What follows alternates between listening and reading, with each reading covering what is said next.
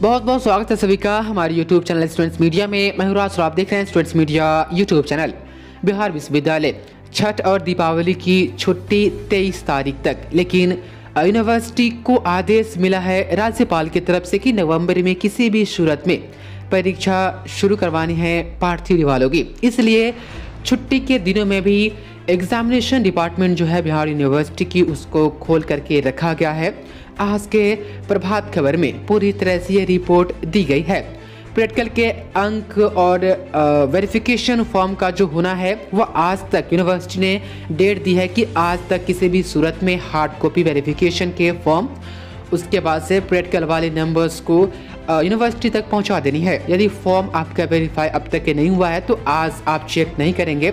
कल चेक कर लेंगे, कल तक वेरीफाई हो गया रहेगा। जैसा कि यूनिवर्सिटी ने आदेश दिया है। बात अब एडमिट कार्ड की आती है तो एडमिट कार्ड पर यूनिवर्सिटी ने कही है कि 24 तारीख से आपको एडमिट कार्ड दिया जाएगा। एडमिट कार्ड आपको ऑनलाइन दिया जाएगा। एडमिट कार्ड डाउनलोड करने के बाद आपको क्या करना होगा?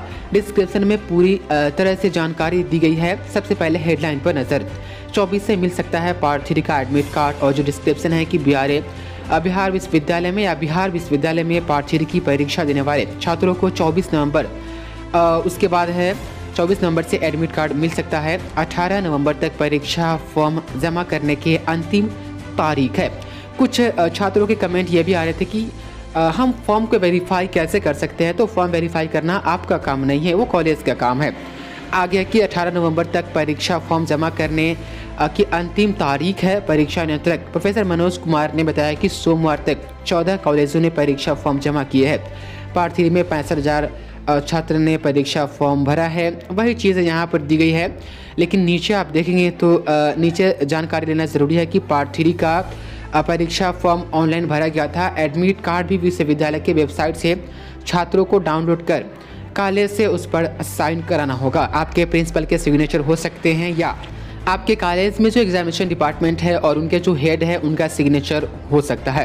वो किन के सिग्नेचर होंगे, वो भी क्लियर हो जाएगी जब एडमिट कार्ड अपलोड हो जाएगी और डाउनलोड करना शुरू हो जाएगा।